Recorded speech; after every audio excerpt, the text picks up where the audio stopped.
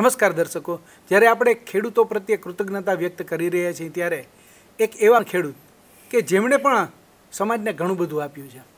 કહેવાય છે કે ખેડૂતને પદ્મશ્રી મળે ખેતી બાબતમાં અને એમાંય શાકભાજીમાં. જી હા, સરકારે જુનાગઢ ખામધ્રોડ ગામના વલ્લભ બાપા મારવણિયા જેમને પદ્મશ્રીનો એવોર્ડ આપ્યો. જાણો છો શું કામ આપ્યો? કહેવાય છે કે એક સમયે જે ગાજર એને આપણે ગુજરાતી કાઠિયાવાડી ભાષામાં કહેતા લોદર. એ વાવી અને ગાય, ભેંસ, બળદ એમને ખવડાવતા. એનો ઉપયોગ લોકો ન કરતા. ત્યારે વલ્લભ બાપા મારવણિયાએ આ બધી વસ્તુને, એટલે કે એ શાકભાજીને, એ લોદરને, એ ગાજરને શાકભાજીનું સ્વરૂપ આપ્યું અને એમને માર્કેટ યાર્ડમાં વેચ્યું. લોકોને ગાજર ખાતા કર્યા અને ગાજરની અંદરના ગુણો જે છે, એમના વિશે ઘણી બધી માહિતીઓ ત્યાર પછી આવી. તો મિત્રો, આવી સુંદર મજાની કામગીરી બદલ ગવર્મેન્ટે પણ વલ્લભ બાપાને પદ્મશ્રીથી નવાજ્યા. આજે એ જગ્યા એમના દીકરા અરવિંદભાઈ મારવાણિયા નિભાવી રહ્યા છે. જેઓ મધુબન આ ગાજરની જાત જે છે, એમને ખૂબ સુંદર વિકસાવી છે. આવી સુંદર મજાની કામગીરી કરનારા ખેડૂત એટલે કે અરવિંદભાઈ મારવણિયા આપણી સાથે છે. અરવિંદભાઈ, આપનું સ્ટુડિયોમાં સ્વાગત છે. નમસ્કાર. ખાસ વાત એ કરીએ અરવિંદભાઈ, થઈ ગાજર બાબતની, તો કેવી કેવી શરૂઆતમાં સ્ટ્રગલ કરવી પડી હશે? બાપાએ પણ કરી અને તમે પણ અત્યારે થોડી ઘણી સ્ટ્રગલ કરતા હશો. કઈ રીતની પેલી પરિસ્થિતિ હતી ને હાલ શું પરિસ્થિતિ છે? પહેલાં તો આજના આ મંગલ પર્વ નિમિત્તે રાષ્ટ્રીય દિવસને હું સન્માન આપું છું અને આપ સૌનો ખૂબ ખૂબ આભારી છું કે સ્ટુડિયોમાં આપે મને બોલાવી અને એક સન્માનિત કર્યા. મારા બાપુજીને ઓગણીસો ને તેતાલીસમાં પહેલી વખત જ્યારે એ ગાજર માર્કેટમાં મૂક્યા, એની પહેલાં એમને ગાજર ખોદતા આવડતા જ નહોતા, કારણ કે તેમની આયુષ્ય નાની હતી. એ ઉંમર નાની હતી. એને લઈને એ ગાજર ખોદી નહોતા શકતા. કોઈ પણ પિતાજીને જે વાત કરી અને ના પાડી અને પોતાની અનાવડતથી ગાજરના કટકાઓ ભેગા કરી અને છુપાવીને માર્કેટમાં લઈ ગયા. અને એનો ખૂબ સારો એવો ભાવ મળ્યો કે આ ગાજરની ખેતી છે એ આપણા પશુઓ માટે તો છે જ, પણ એની સાથે આપણે ત્રણ ડિપાર્ટમેન્ટનો નિભાવ કરી શકીએ છીએ. આપણો સ્વયંનો નિભાવ થાય, આપણા પશુઓ નભે અને એની સામે આપણે બીજાઓને મજૂરી પણ આપી શકીએ છીએ. એટલે એક મજૂરી કોઈને જે આપીએ છીએ, એ ખરેખર એક યોગ્ય ન જેવું કામ છે. એટલે પિતાજીએ આવું સંઘર્ષ કરતાં કરતાં કરતાં મને પણ આ એક રસ્તા ઉપર જોડી દીધો. અને મને ઓગણીસો ને ત્યાંસીથી એને ગાજર બીજ બનાવવાની શરૂઆત કરી અને એ બીજ કેવી રીતે બનાવવું એ બધું મને માર્ગદર્શન કર્યું. એ બીજ બની ગયા પછી એનું જે માર્કેટિંગ કરવાનું જે મારા ભાગમાં આવ્યું, એ મને થોડુંક કપરું પડ્યું કારણ કે સીધું જ કોઈ બીજ આપણે ખરીદતો નહોતું આપણે કોઈ ઓળખતા નહોતા. ક્યાંક અમે અમારી જુનાગઢ કૃષિ યુનિવર્સિટીની પણ મુલાકાતો લીધી, અધિકારીઓ પાસેથી ખૂબ ખૂબ સારી એવી જાણકારીઓ લીધી. બીજ કેવી રીતે બનાવવું, સારું બીજ બને, પછી ખેડૂતો સુધી કેવી રીતે પહોંચાડવું, આ બધાય અનુભવો આ સમાજમાંથી ધીમે ધીમે ધીમે એક વેગ રૂપે અમને ત્યાં સુધી પહોંચવાનો એક માર્ગ મળ્યો. પરિસ્થિતિ એવી ઊભી થઈ કે ખૂબ જ ગાજરનું બીજની માંગ વધી. એટલે એ બીજ છે એ અમે પેકિંગમાં ખેડૂત સુધી પહોંચાડવાનો પ્રયત્ન કર્યો ગાજર બીજ છે એ મધુવન ગાજરના બીજના નામથી અમે પેકિંગ કરીએ છીએ.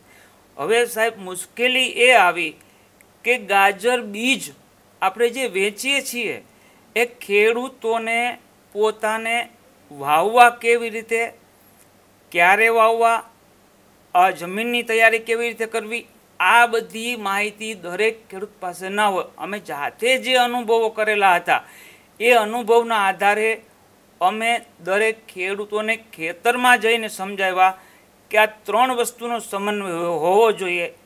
ખેતી, બીજ અને ખેડૂત આ ત્રણેયનો સમન્વય હોય ત્યારે જ ગાજર છે ને એ સંપૂર્ણ પોતાનું સ્વરૂપ આપી શકે. માનો કે સોઇલ કન્ડિશનમાં કાંઈ પ્રોબ્લેમ હોય તો પણ ગાજર ના થાય. ક્લાઇમેટ ચેન્જ હોય તો ના થાય અને એ બે હોય અને ખેડૂતે પોતાએ કાંઈ ભૂલ કરી હોય તો પણ ઉત્પાદન ના આવી શકે.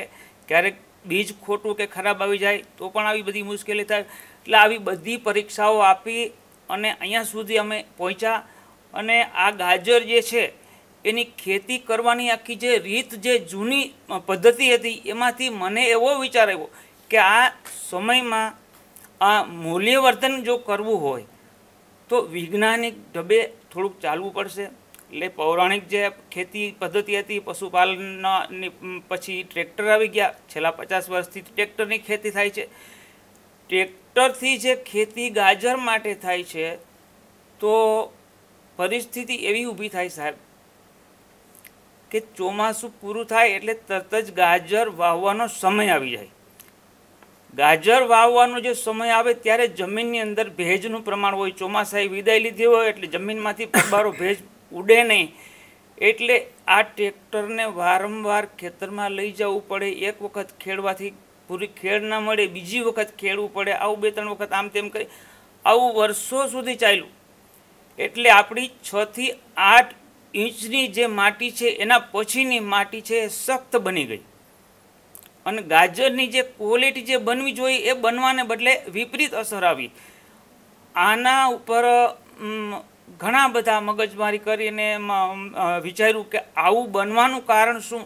પહેલાં ગાજર આપણું દોઢ ફૂટનું, બે ફૂટનું થતું હતું, આજે નવ ઇંચનું જ કેમ થાય છે?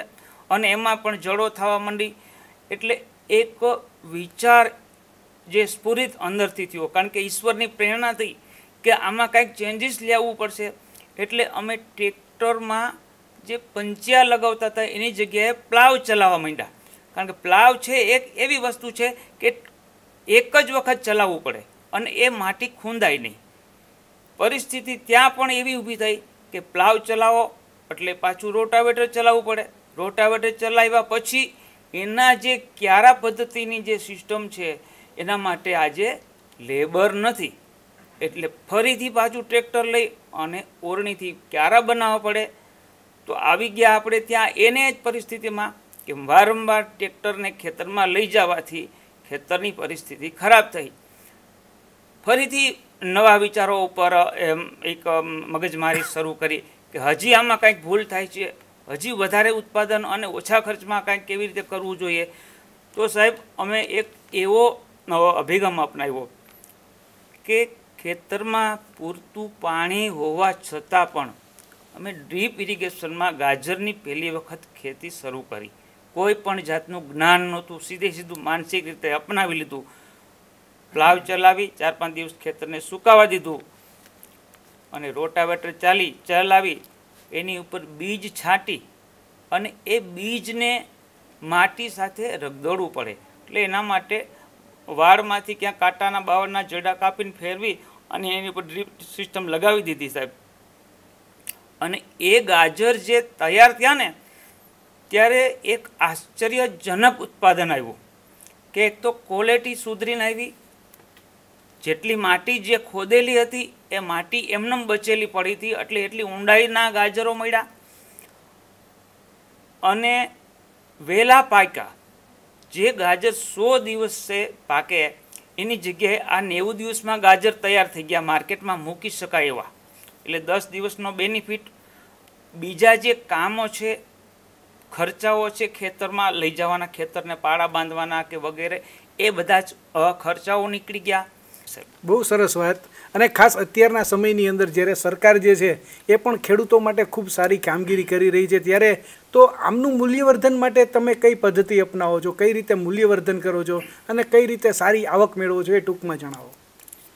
ખાસ કરીને મૂલ્યવર્ધનની જો વાત કરીએ ને, તો દરેક ખેડૂએ પોતાના ખેતરની અંદર જે કોઈ પ્રોડક્ટ પાક, જે ઉત્પાદન લેવામાં આવે છે, એને પહેલાં તો ગ્રેડિંગ કરવું પડે. સોલ્ટિંગ કરવું પડે. મૂલ્યવર્ધનનો પાયાનો સિદ્ધાંત છે. કોઈ પણ પાક તૈયાર થાય, એટલે લારીમાં ભરી અને સીધો માર્કેટમાં મૂકી દેવામાં આવવાથી મૂલ્યવર્ધન થઈ શકે જ નહીં. એને સોલ્ટિંગ ગ્રેડિંગ કરવું પડે અને એને સારી રીતે પેકિંગ કરીને માર્કેટિંગ કરવામાં આવે તો આજે એવા ચાહકો છે, એવા ખાવાવાળો વર્ગ છે કે સારી વસ્તુ તમે એને આપો, એટલે આપણા પોતાના મન, ભાવન, ભાવ એમાંથી આપણે એની કિંમત મળી શકશે. એટલે મૂલ્ય, મૂલ્યવર્ધનનો પહેલો પાયો છે સોલ્ટિંગ ગ્રેડિંગનો અને બીજી વાત એ રહી કે મૂલ્યવર્ધન માટે આ એક ગાજરમાંથી એક જે પ્રોસેસિંગની જે વાત આવે છે, તો એના માટે ખાસ કરીને અમે એની ચિપ્સ બનાવીએ છીએ, એનું ખમણ બનાવીએ છીએ. આજે સૌરાષ્ટ્રની અંદર ખાસ કરીને અથાણા બને છે, એમાં ગાજર ખાસ આવે જ છે. તો આપણા જે જૂના માણસો જે છે, એ ગાજર છે, એની ચીરો બનાવતા હતા એ એક ગાજરમાંથી ચાર કટકા કરી નાખતા હતા. પણ અમે એવું નથી કરતા. અમે એકદમ માઇક્રોચિપ્સ બનાવીએ છીએ, જે અચારમાં એકદમ સહેલાથી ભળી જાય અને આપણે જ્યારે એને આરોગતા હોઈએ છીએ, ત્યારે આપણે પ્રમાણમાં જેટલી જોતી હોય એટલી જ લઈ શકીએ, બગાડ ના થાય અને એની જે ક્વોલિટી છે એ જળવાઈ રહે. એટલે આ મૂલ્યવર્ધનના આ અમારા આ જે પાસા છે કે એમાંથી પ્રોસેસિંગ કરી અને એનું પણ એક માર્કેટિંગ કરીએ છીએ. બહુ સરસ વાત. મિત્રો, સામાન્ય એવી બાબત કે એક સમયે જે લોદર ગણાતું હતું, એ લોદર માણસને પદ્મશ્રી સુધીનો એવોર્ડ અપાવી શકે અને આજે ખરા અર્થમાં આપણી વચ્ચે જે કહેવાય કે વલ્લભ બાપા જે છે જીવંત છે. જ્યાં સુધી આ પૃથ્વી ઉપર ગાજર રહેશે ને, ત્યાં લગી વલ્લભ બાપાનું નામ ગવાતું રહેશે. અને ત્યાર પછી ઉત્તરોત્તર એમના સંતાનો દ્વારા આવી ઉત્તમ કામગીરી જે છે એ કૃષિ ક્ષેત્રે કરી રહ્યા છે. આજે ખાસ ખેડૂત દિવસ નિમિત્તે તમે અમારા સ્ટુડિયોમાં પધાર્યા છો. અમને એક એવો અવસર મળ્યો છે કે અમે ખેડૂતોનો આભાર વ્યક્ત કરી શકીએ, કૃતજ્ઞતા વ્યક્ત કરી શકીએ. તો ખાસ અમે તમારી કૃતજ્ઞતા વ્યક્ત કરીએ છીએ. આવી જ ઉત્તરોત્તર પ્રગતિ તમે કરતા રહો અને લોકોને સારું સારું પીરસતા રહો. આભાર. ધન્યવાદ.